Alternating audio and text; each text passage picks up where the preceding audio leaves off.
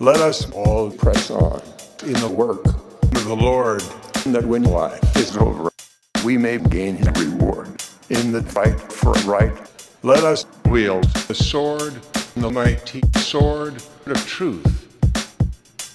Fear not those the enemy derive. Courage for the Lord is on our side. We will heed not what the wicked may say, but the Lord alone we will obey.